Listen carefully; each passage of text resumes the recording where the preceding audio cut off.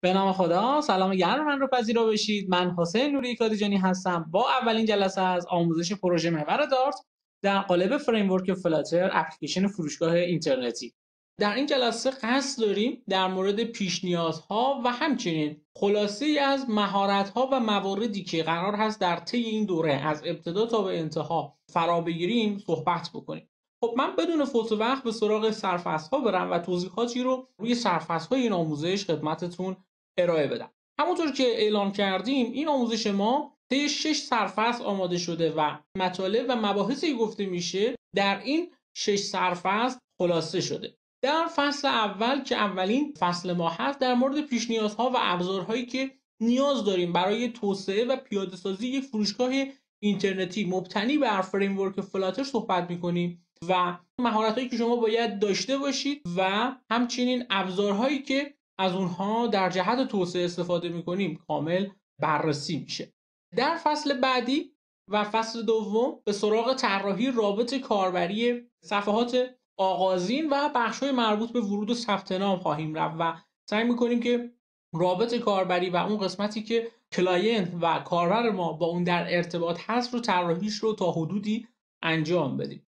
در فصل سوم در ادامه مباحث فصل دوم رابط کاربری بخش صفحه اصلی فروشگاه جایی که لیست محصولات رو کاربر می‌تونه ببینه و در تعامل هست با اپلیکیشن طراحی خواهد شد و همچنین بخشهایی که مربوط به نمایش اطلاعات محصولات هست. اما اوج کار ما از فصل چهارم شروع خواهد شد و در این فصل وارد مباحث مربوط به سمت سرور پروژه میشیم. و همونطور که می‌دونید پروژه ما یک پروژه کاملا آنلاین هست و نیاز داریم که با سمت سرور در ارتباط باشیم. در این فصل در مورد host صحبت خواهیم کرد پیش نیازهایی که نیاز هست و مواردی که باید بدونیم. یک پایگاه داده رو در سمت سرور ایجاد می‌کنیم و توضیحات کاملی رو در این فصل خواهیم داشت. در فصل پنجم پروژه بحث ارتباط با سرور رو استارتش رو خواهیم زد و کدهایی که نیاز هست در سمت سرور داشته باشیم و همچنین کدهایی که در سمت client باید باشن و این کانال ارتباطی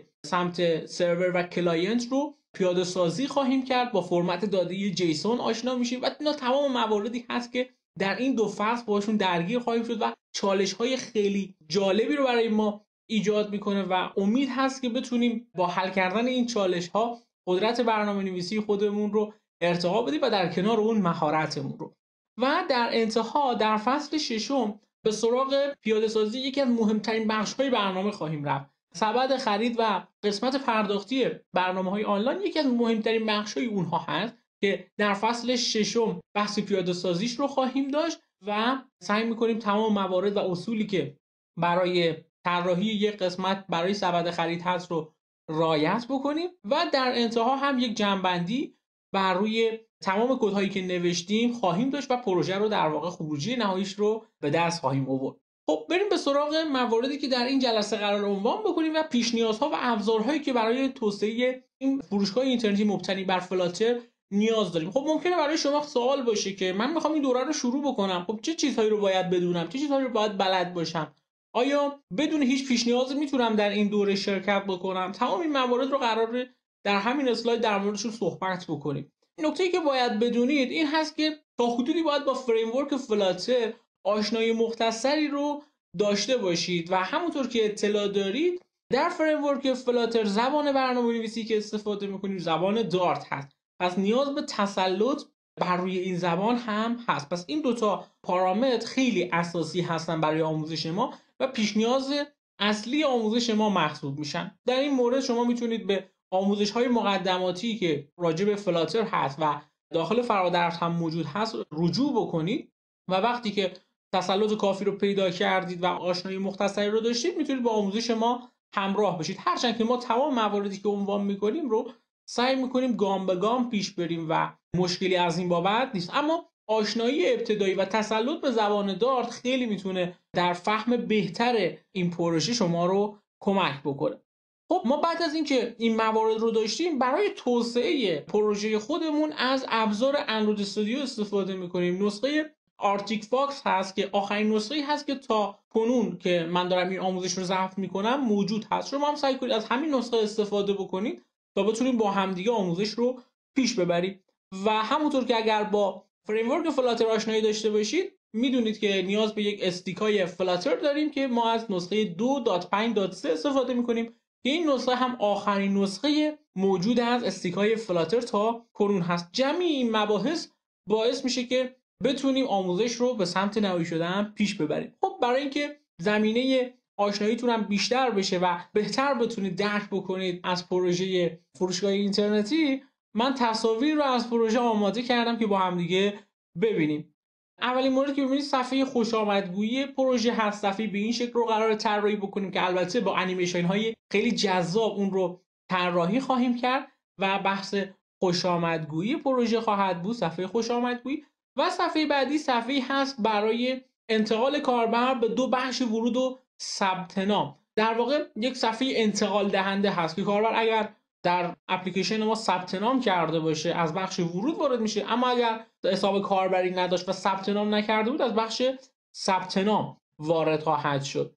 در ادامه بخش های مربوط به ورود و همچنین ثبت نام رو تکمیل می‌کنیم. که کاربر در بخش ورود با وارد کردن نام کاربری و کلمه عبور می‌تونه وارد برنامه بشه و اگر حساب کاربری نداشت روی گزینه حساب کاربری ندارم کلیک می‌کنه و منتقل میشه به بخش ثبت نام. نکته ای که اینجا حائز اهمیت این هست که من برای این پروژه فیلد های خیلی کمی رو در واقع در نظر گرفتم با توجه به وقت کوتاهی که برای پروژه داریم و نمی‌خوایم آموزشمون زمان خیلی زیادی رو به خودش اختصاص بده فقط بحث نام کاربری و کلمه عبور هست. اما شما می‌تونید با فرا گرفتن نکات این بخش گسترش بدید کار خودتون رو و فیلدهای بیشتری رو از کاربر زمان ثبت نام بگیرید. نام نام خانوادگی سال تولد جنسیت تمام موارد رو می‌تونید بگیرید و با همون تکنولوژی که ما توسعهش میدیم شما اون رو بحث بدید و در واقع پروژه خودتون رو گسترده تر بکنید.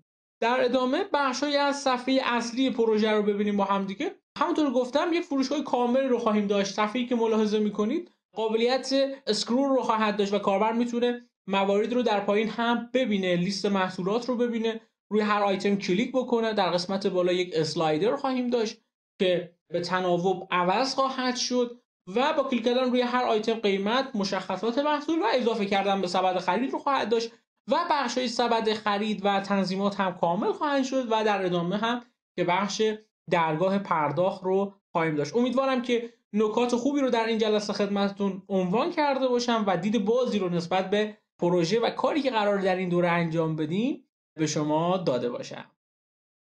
در این جلسه قصد داریم بحث هایی که در فصل دوم در واقع بخش های مربوط به طراحی رابط کاربری صفحه آغازین برنامه و همچنین بخش هایی که مربوط به ورود و ثبت نام هست رو شروع بکنیم و این مسیر رو دنبال کنیم با طراحی رابط کاربری بخش های مختلف. خب همونطور که می‌دونید و در جلسه گذشته من عنوان کردم باید حتما پیش نیازهایی که برای استارت یک پروژه وجود داره رو ما داشته باشیم که عبارتند از استیکای اندروید استیکای فلاتر و جیدیکا که این موارد باید هم مسیردهی شده باشن و هم نصب شده باشن. برای اینکه در روند آموزشمون خلل ایجاد نشه و شما هم بتونید گام به گام با ما پیش برید من به صورت مختصر فقط این مورد رو بررسی می‌کنم. شما هم باید این قسمت ها رو حتما تیکش رو بزنید و از لحاظ انجام شدن باید این مسیرها انجام شده باشه. خب برای این کار من به قسمت استارت میرم و در My Computer خودم کلیک راست می‌کنم گزینه Properties رو می‌زنم. خب این صفحه باز میشه. گزینه Advanced System Setting رو کلیک می‌کنم و در پنجره که اینجا باز میشه گزینه environment variable رو باید کلیک بکنیم. خب در این قسمت مسیرهایی که تعریف شده برای SDK های اندروید و همچنین JDK و SDK فلاتر مشخص میشن. اگر شما همچین بخشهایی رو نداشتید حتما با استفاده از گزینه New ی که در اینجا وجود داره variable جدید ایجاد بکنید.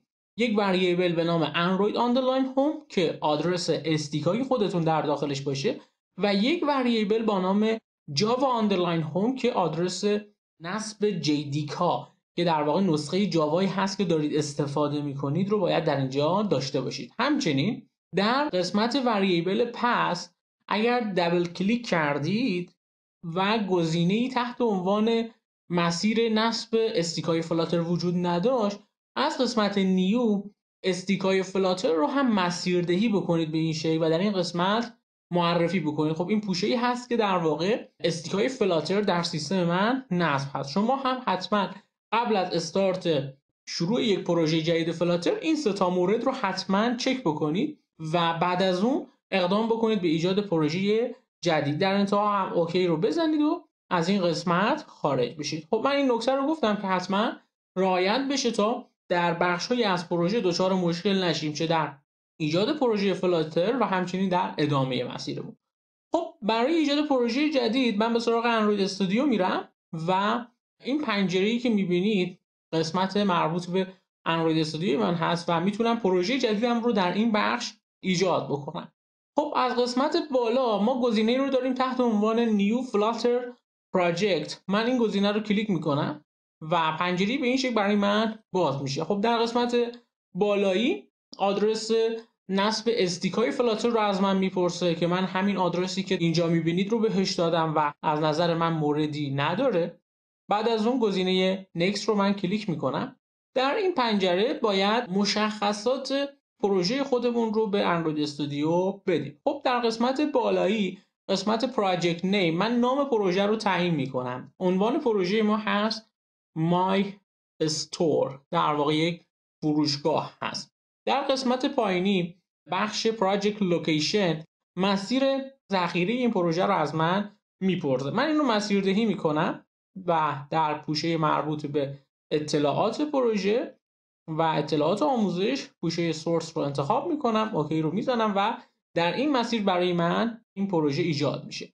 قسمت Description توضیحات رو هم داریم که می‌تونید هر توضیحی که مد نظرتون هست رو وارد کنید. خب من در این قسمت زبان رو فارسی می‌کنم و به این صورت تایپ می‌کنم آموزش پروژه محور طراحی اپلیکیشن فروشگاه اینترنتی فرادرس.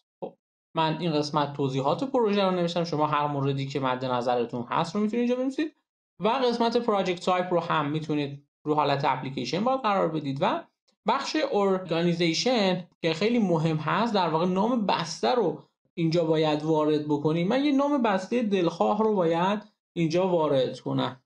org.faradars.store و در قسمت Android language من روی Kotlin قرار میدم iOS language رو هم روی Swift و گزینه های مربوط به پلتفرم هم روی همین حالت باشه که ما هم اندروید و هم iOS رو نیاز داریم و تا اینجا OK هست تمام مراحل و از قسمت More settings هم باید نام ماژولی که برای ما ایجاد می‌کنه رو اینجا وارد بکنیم. من این نام فرادرس قرار میدم تا پروژه با نام فرادرس در قسمت مربوط به مشخصات پروژه در اندروید استودیو برای من نمایش داده بشه. باقی قسمت ها رو کاری نداریم و کامل هستن. گزینه انتهایی و Finish رو باید کلیک کنیم. چند دقیقه باید منتظر بمونیم تا پروژه برای ما ایجاد بشه. خب صفحه ابتدایی برای ما ایجاد میشه به این شکل. یک هشداری رو در اینجا داریم تحت عنوان پلاگین هایی که باید فایل های .md رو پشتیبانی کنن من گزینه Install رو می‌زنم تا این رو برای من نصب کنه و از این بابت هم مشکلی نداشته باشم و این هم انجام میشه. خب در ادامه نیاز برای اجرا شدن پروژه فلاتر خودمون یک سری تنظیماتی رو در اندروید استودیو مشخص بکنیم. از سربرگ فایل گزینه Project Structure رو من انتخاب می‌کنم و پنجره که باز میشه باید مسیرهای مربوط به استیکا نسخه API که می‌خوایم استفاده بکنیم رو به پروژه بدیم. در سربرگ پراجکت من اینجا کلیک می‌کنم و نسخه API که اپلیکیشن ما به اون باید رام بشه رو مشخص می‌کنم. همونطور که می‌دونید سیستم عامل اندروید و در واقع استیک های اندروید API های مختلفی رو داره و ما می‌تونیم بین اینها هر کدومی که مد نظرمون هست رو انتخاب بکنیم و ترجیحاً باید از آخرین نسخه های API که موجود هست استفاده کنیم من نسخه API 31 رو انتخاب می‌کنم و بعد از اون گزینه Apply رو می‌زنم. بعد از اون در قسمت مربوط به Modules باید بیایم انتخاب بکنیم همچنین گزینه Dart SDK و در این قسمت هم SDK اندروید 31 رو قرار میدیم و باز هم گزینه Apply رو می‌زنیم تا برای ما اعمال بشه.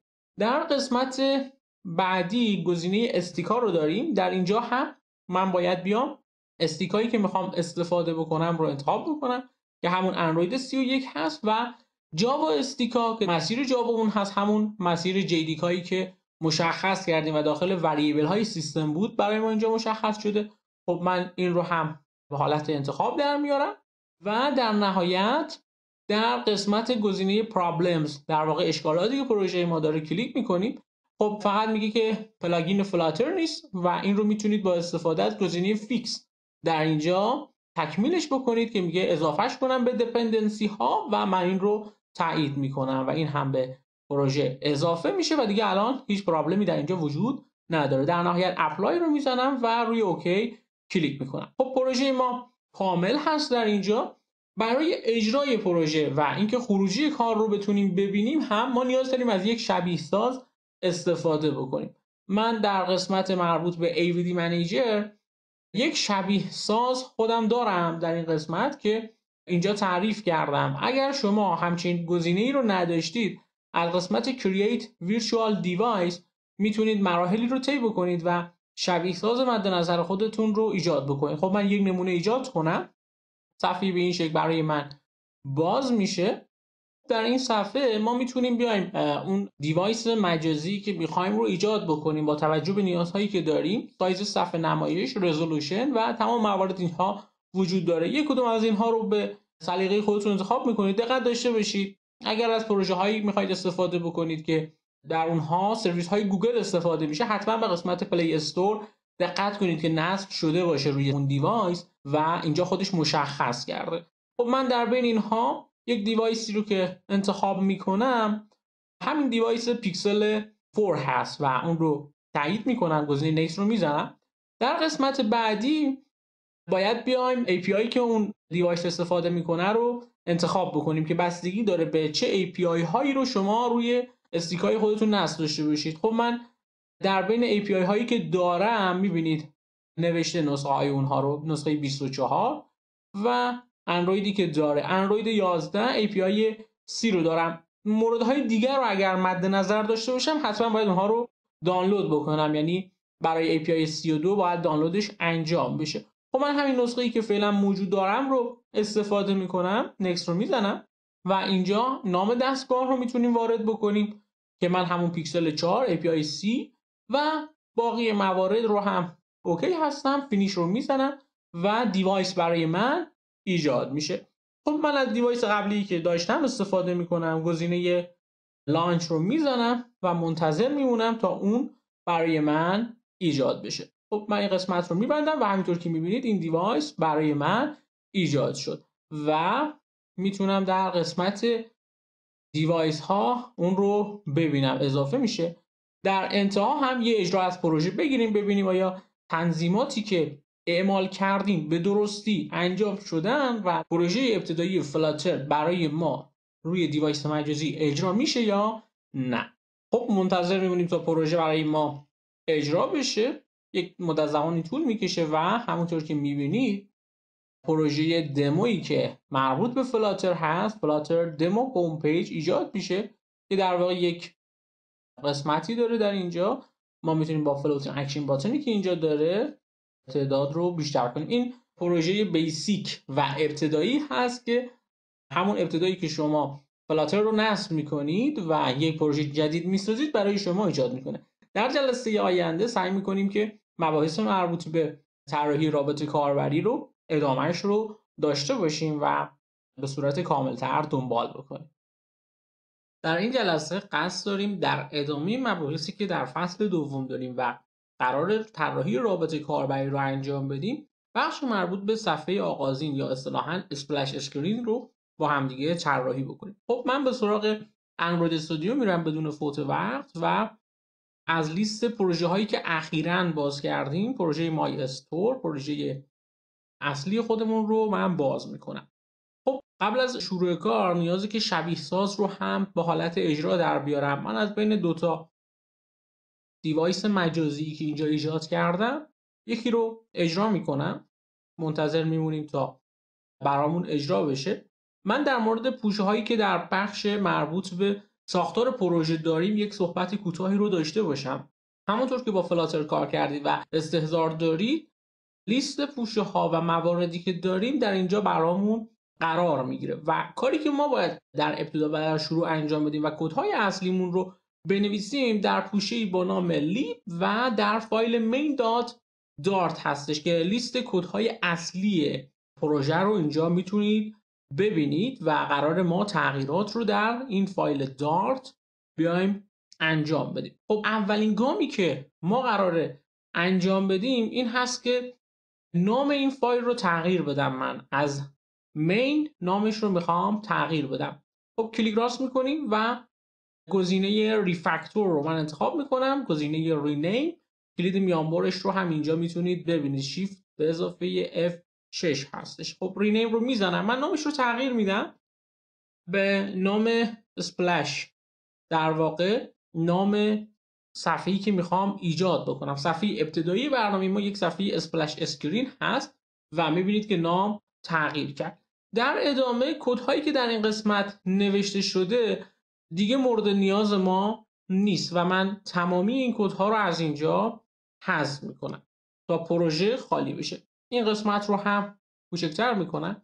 کدهامون رو قرار در این قسمت بنویسیم. پکیج بالایی که اینجا ملاحظه می‌کنید پکیج متریال هست که برای استفاده از تمهای متریال در فلاتر استفاده میشه. به این پکیج نیاز پیدا می‌کنیم.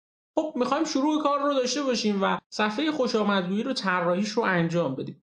برای طراحی این صفحه نیاز هست که ما از یک پکیجی در واقع استفاده بکنیم که من این پکیج رو براتون اینجا نمایش میدم. از سایت pub.dev که سایت رسمی هست برای ارائه پکیج ها و کتابخونه هایی که مربوط به Flutter هستن من پکیج splash screen view نسخه سه اون رو انتخاب کردم. یک مروری بر این پکیج داشته باشیم و مراحلی کاری که باید انجام بدیم.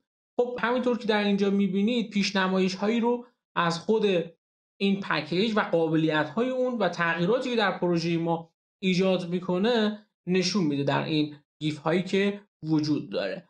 و مراحل نصبش رو هم قرار قدم به قدم با همدیگه دنبال بکنیم و در نهایت به یک خروجی مطلوبی برسیم.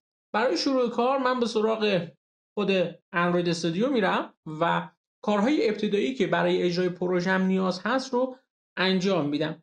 در گام اول من همون قسمت مربوط به مین تابع مین رو اینجا بنویسم. Void مین تابع اصلی این فایل دارت هست که کدها رو قرار اجرا بکنه. خب یک دستور داره تحت عنوان ران اپ که این دستور از ما یک ویجت یا یک کلاس رو اصطلاحا می‌گیره. من این قسمت رو فعلا خالی می‌ذارم و میام چند خط پایین تر کلاسی که می‌خوام در واقع کدها رو داخلش بنویسم رو ایجاد می‌کنم. من کلاسی ایجاد می‌کنم. خب ابتدا از نوع stateless ویجت می‌خوام یک کلاس ایجاد بکنم. ما کلاس ها دو دسته تقسیم میشن استیجلس و استیتفول برای این قسمت من از نوع استیجلس یک کلاس رو انتخاب می‌کنم و بعد از انتخاب اون یک نام از من می‌گیره. نامی که من بهش می‌خوام بدم نام مای اپ هستش. و می‌بینید این کلاس و همین راحتی برای من ایجاد شد. خب نام کلاس مای اپ رو در این قسمت قرار میدم در تابع ران اپ تا اجرا برای من بشه و من خروجی کار رو بتونم در اونجا داشته باشم. خب در این قسمت همونطور که مشاهده می‌کنید برای ما خطا گرفته. مشخص هست خطا. دلیلش چی دلیلش اینه که من این رو به حالت ویجتی بهش ندادم. خب پرانتز باز بسته و می‌بینید که درست شد و مشکل ما رفت شد.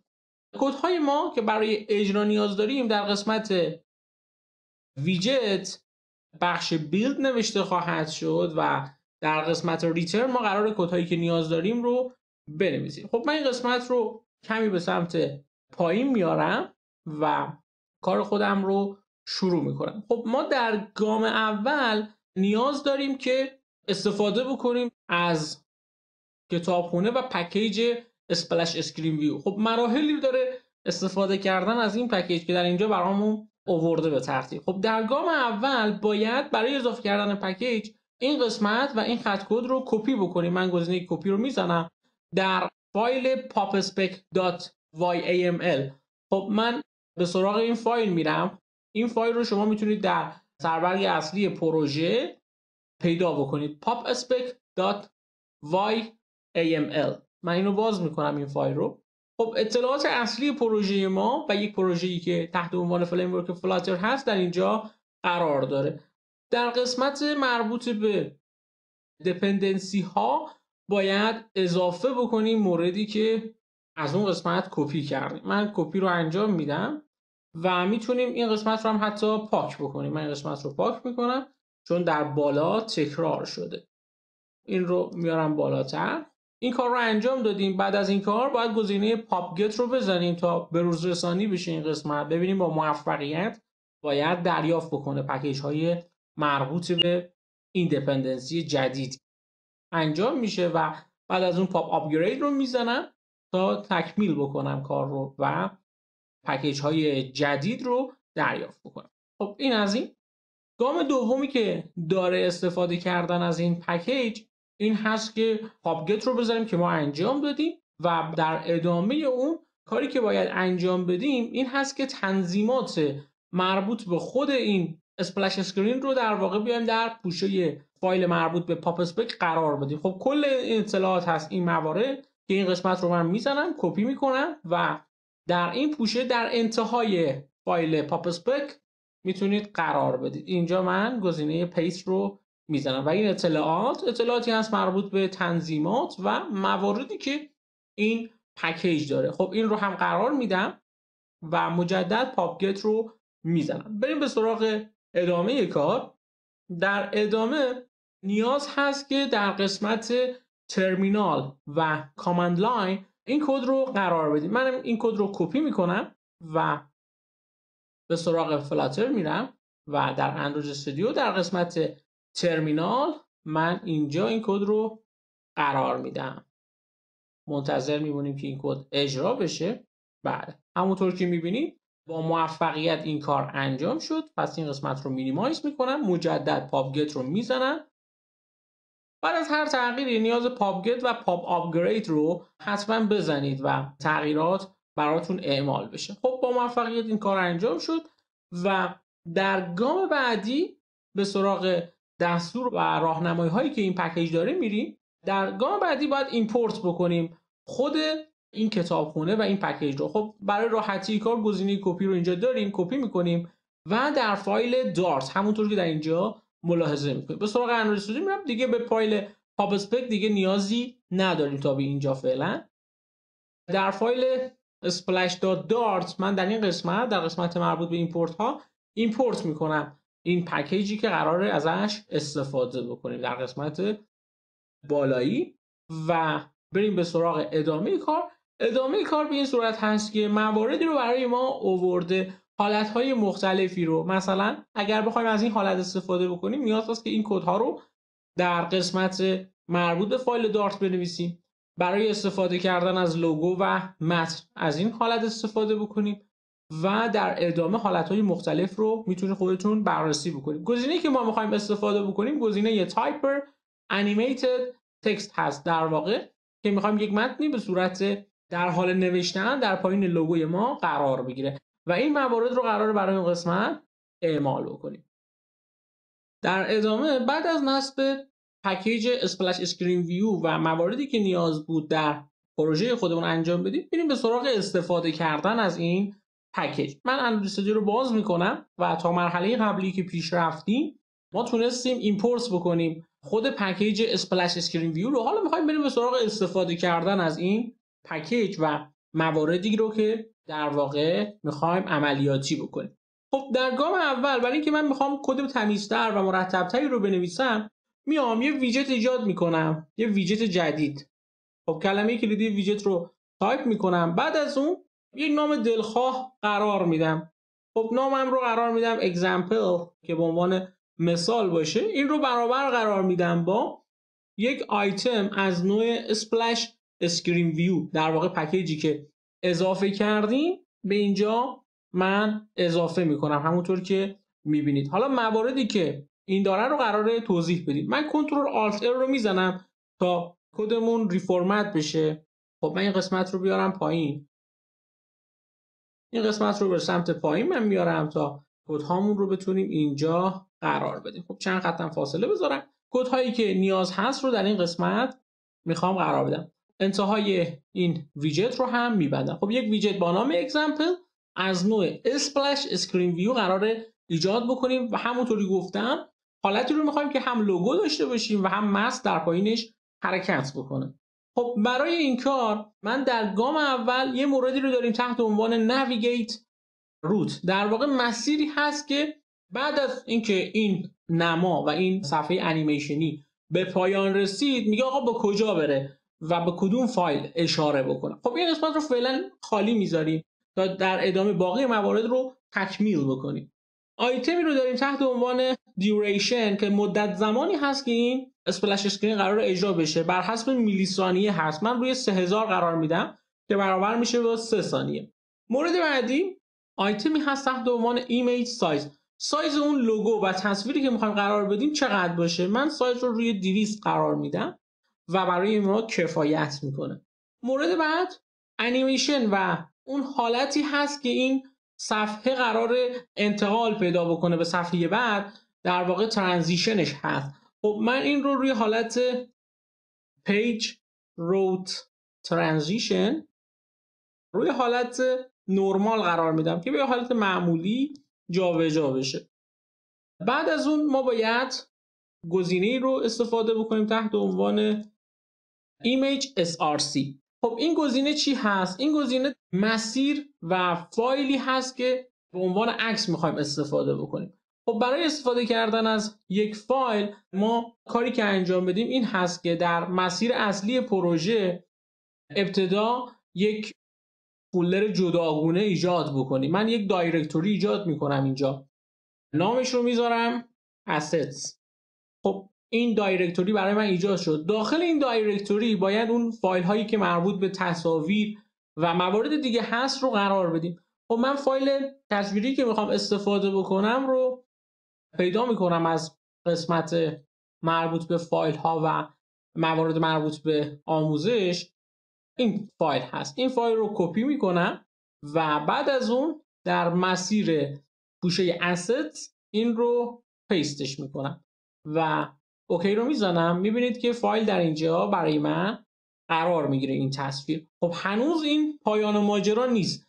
ما در حالت معمولی در اندروید به این صورت بود که کپی می‌کردیم و بعدا می‌تونید استفاده بکنیم. اما در فلاتر همونطور که آموزش های مقدماتی رو طی کردید می‌دونید تمامی تغییرات تمام موارد در پوشه pubspec باید قرار بگیره و ما باید بیایم اینجا فایل تصویر رو معرفی بکنیم. من همین فایل pubspec رو scroll کنم به سمت پایین تا برسیم به بخش asset ها. می‌بینید در اینجا برای ما توضیحاتی رو تحت عنوان کامنت اوورده که برای اضافه کردن asset به اپلیکیشن خودمون باید ابتدا یک دایرکتوری اسست ایجاد بکنیم و بعد از اون مشابه خطوطی که در اینجا نوشته کار بکنیم. خب کارمون رو راحت کرده. من این قسمت ها رو پاک می‌کنم و حالا می‌تونم از تصویری که دارم استفاده بکنم. خب تصویر من در واقع در پوشه خاصی نیست. خب نام خود این تصویر رو کافیه. از این قسمت من بردارم. خب نام کاملش رو برمیدارم و در اینجا این نام رو قرار میدم. این از این و بعد باید پاپ گت و بعد از اون پاپ آپگرید رو حتما انتخاب بکنیم تا این قسمت ما تکمیل بشه. الان به نظرم مشکلی نداریم. به فایل دارتمون میریم و در اینجا من این قسمت رو ببندم. در اینجا باید اضافه بکنیم اون فایل تصویری که داریم. خب مسیرش مشخص هست. نام فایل رو باید در اینجا قرار بدیم که من همون نام splash screen underline image.png رو بهش میدم. خب این نام هم تعریف شده و مشکلی نداریم. خب مورد بعدی که می‌تونیم تعیین بکنیم اسپید هست که سرعت در واقع انیمیشنه من روی 100 می‌ذارم. تمامی این مواردی که اینجا می‌بینید دل بخواهی هست و هر کدومی که خواستید می‌تونید تغییر بدید و موارد مربوط به خودتون رو بذارید. خب مورد بعدی متنی هست که در پایین لوگو یا تصویر وجود داره. من متن رو اینجا وارد می‌کنم. یه متن فارسی اینجا می نویسیم به فروشگاه من خوش آمدید. شما هر متنی که مد نظرتون بود رو می‌تونید برای این قسمت حتما قرار بدید. در ادامه حالتی که این متن داره رو باید مشخص کنیم. در واقع text type هست که این حالت همون حالتی هست که به صورت روان هست و حرکت می‌کنه متن ما. text type dot حالتش حالت typer animated text هست. خب روی این حالت قرارش میدیم و بعد از اون باید بیایم رنگ پس زمینه رو مشخص بکنیم. background color که من background color رو هم روی رنگ سفید قرار میدم. تا اینجا یک سری مواردی رو اومدیم انجام دادیم و مورد بعدی که می‌خوایم انجام بدیم مربوط به تنظیمات متنه که اون رو بذاریم. بعد از اینکه یه خروجی از این قسمت گرفتیم ببینیم با هم دیگه که به چه صورتی میشه. بعد از این قسمت مورد مهمی که داریم این هست که وقتی انیمیشن ما تموم شد این انیمیشن باید به کجا بره و کجا هست مقصدش؟ خب یه فایل جدید باید ایجاد بکنیم در پوشه لیب و مسیر بعدی رو مشخص کنیم. من یه فایل دارت ایجاد می‌کنم. new. خب یه فایل دارت. خب از نوع دارت نام فایل رو می‌ذارم فایل selector که مرحله بعدی و بخش بعدی هست. این قسمت رو می‌تونیم خالی بذاریم. ولی خب می‌خوایم قسمت ابتدایی مربوط بهش رو کامل بکنیم. خب چون در این فایل هم من از material استفاده کردم این قسمت import می‌کنم و بعد از اون قسمت ابتدایی رو هم که در قسمت مربوط به اسپلش داریم رو هم اینجا قرار میدم و فقط کافیه یک کلاس جدید اینجا ایجاد بکنیم. من یک کلاسی که اینجا می‌خوام استفاده کنم از نوع استیتفول خواهد بود. و نام این کلاس هم قرار بشه سلکتور. خب نام سلکتور رو من از اینجا برمیدارم و در این قسمت می‌ذارم. این فایل فعلا ایجاد شده. یه فایل خالی هست بدون اینکه خروجی خاصی رو داشته باشه. خب به قسمت اسپلش میرم و در این قسمت آدرس جایی که بعد از اون قرار بره رو باید بیام قرار بدم. خب من نام سلکتور رو اینجا می نویسم خب اینم از سلکتور که در اینجا قرار می‌گیره. نام سلکتور و قراره بره به صفحه مربوط به selector. و می‌بینید که خودش هم اینجا میاد import می‌کنه. فایل دارت جدیدی قرار استفاده بکنیم. خب بریم یه پیشنمایشی از این قسمت ببینیم. ببینیم به چه صورتیه. خب هنوز کار ما تکمیل نشده. ما یه ویژت جداگونه اومدیم ایجاد کردیم. در این قسمت مربوط به return باید کار رو انجام بدیم. من چون می‌خوام از های material استفاده کنم widget material رو صدا می‌زنم. material app. در داخل پرانتز کدهایی که باید قرار بدم اولین کدی که قرار میدم به این صورت هست. میگم صفحه هوم برابر بشه با نامی که ویژتی که من دارم. ویژت چی هست؟ Example. در اینجا قرارش میدم و یک اجرا از این قسمت و مواردی که انجام میدیم می‌گیریم. اگر خطایی داریم برطرف میشه منتظر میبونیم اجرا بشه روی دیوایس مجازی. خب همونطور که می‌بینید در حال نصب خروجی ما بر روی دیوایس مجازی هست و خروجی کار رو می‌تونیم با همدیگه ببینیم. همونطور که می‌بینید به فروشگاه من خوش آمد و بعد از اون هم که هدایت میشه به صفحه مربوط به سلکتور. حالا ما اگر هر تغییری در این قسمت ها و موارد مربوطه انجام بدیم مطمئنا بر روی این قسمت اعمال خواهد شد.